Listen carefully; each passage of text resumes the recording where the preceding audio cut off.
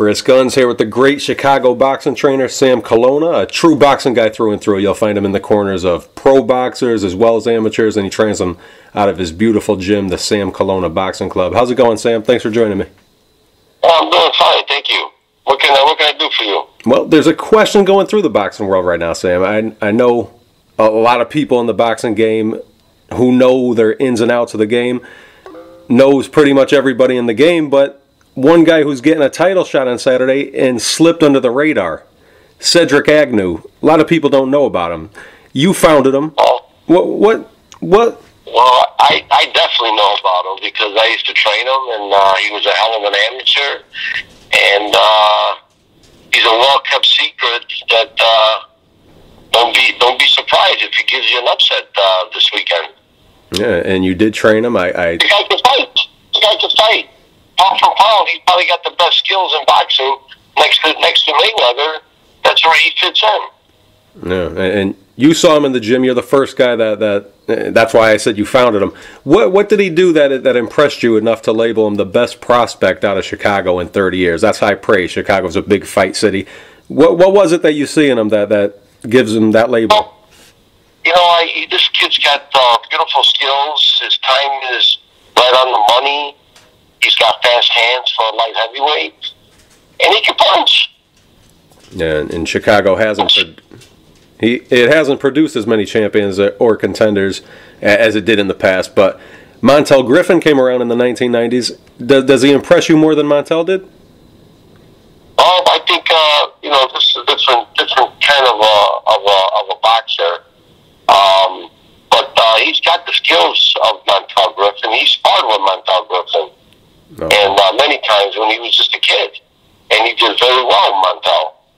So I mean, he, he comes from a good uh, good breed of boxers because at that era when he was uh, coming up in Chicago, he was sparring with all the all the top guys, you know, and uh, he was just a kid.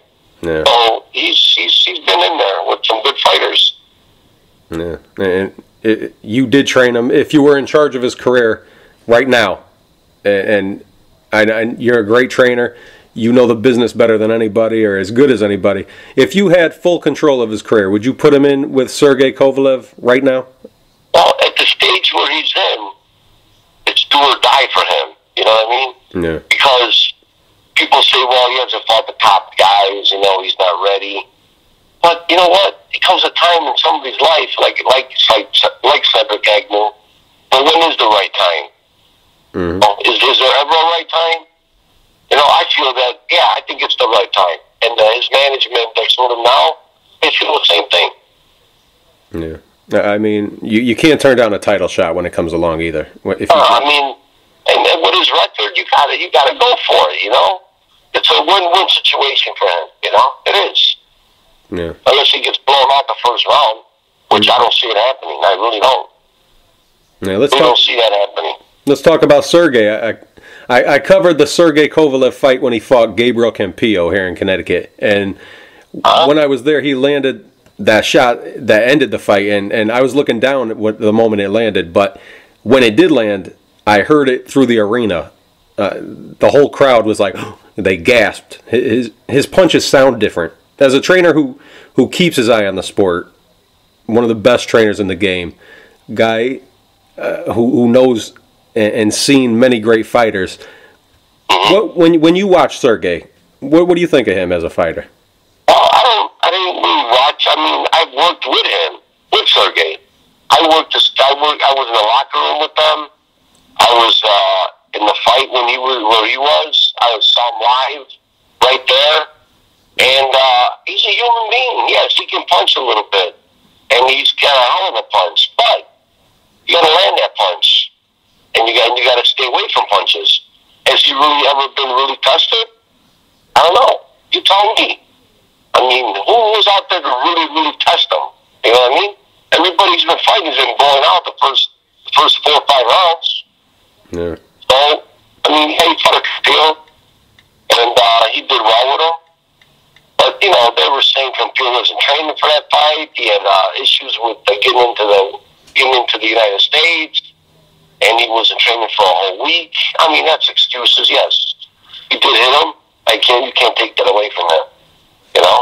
Yeah. Campillo's not he's not a he's not a real big puncher, in my opinion. You know, he's okay. He's a, he was a great champion, but he's not one punch artist. Like uh, you know, he's going to hit you and knock you out. You know. Yeah.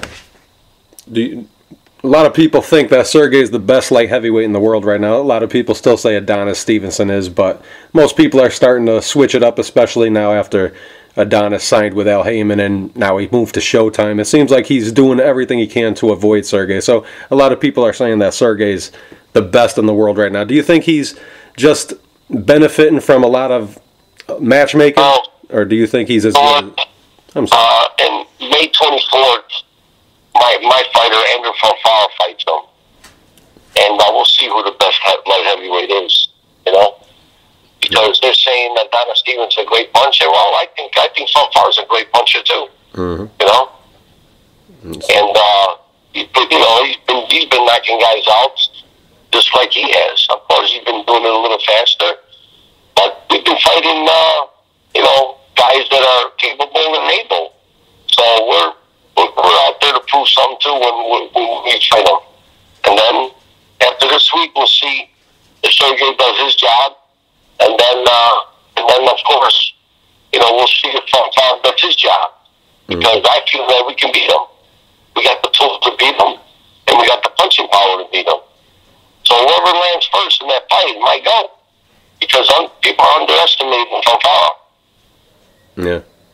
How come? How come Cedric left Chicago? Great, great city. He had a great trainer in, in fighting you. How come he did relocate to to Texas? Well, I think it, I think it was best for him to relocate. You know, he was it was very hard for him to come to my gym. Uh, we went on good terms. There was nothing, no, you know, there was not a problem at all. Him going over there, I was kind of glad. He was kind of getting into pro- problem. He's not a troublemaker, but the people around him Mm. that might have been problems. You know, where he was at, where he was staying. You know, the transportation going back and forth, and just everything changed for him. And I'm I'm happy for him that his career went the way it did. I mean, if he was with me, he'd probably be in the, in the same position, but the uh, environment might have got to him. You know what I mean? And he wouldn't be where he's at now. So I'm glad that that he made that that that switch going over to Texas. And he was really, really focused on boxing, where he was. You know, one day he was in the gym, three days his car was broke, two days he couldn't make it. There, it was a problem, you know. Mm-hmm. Yeah. So I'm glad, I'm glad he made that that, that decision. Yeah. And some guys just got to get away from from. Yeah, and not that not that it was bad training. He had great sparring, sparring from Fire, Donovan George, Montel. I mean, he, he was sparring with top guys all the time.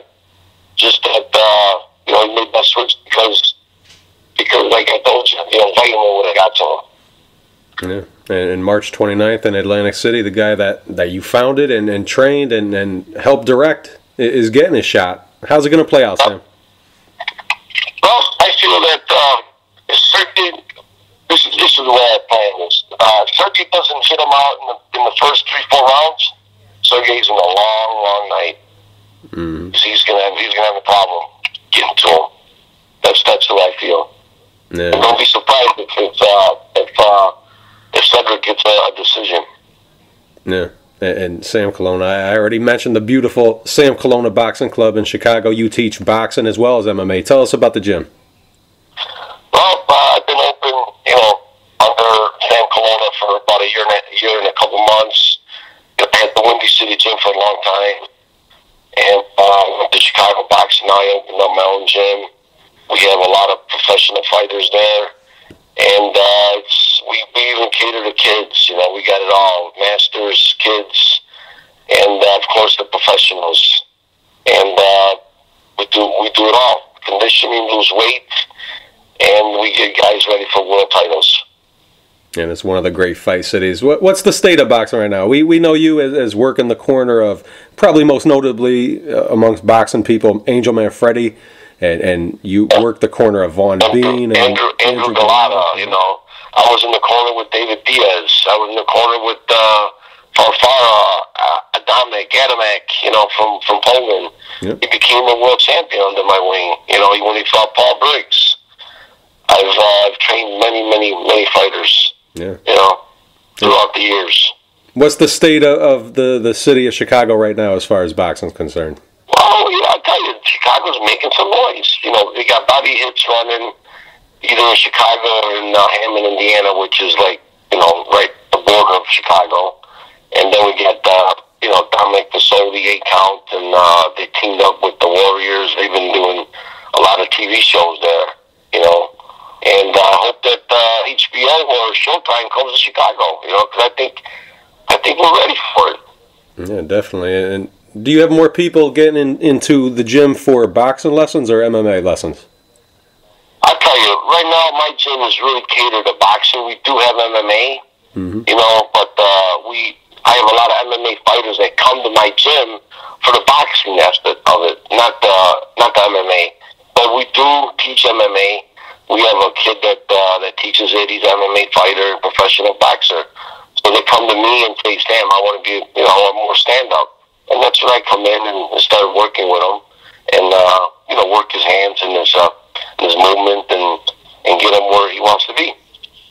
And if you're in Chicago or any place around Chicago and, and you want to learn boxing from one of the great minds in the game, pay Sam Colonna a visit at the Sam Colonna Boxing Club. Are you on the social network, Sam?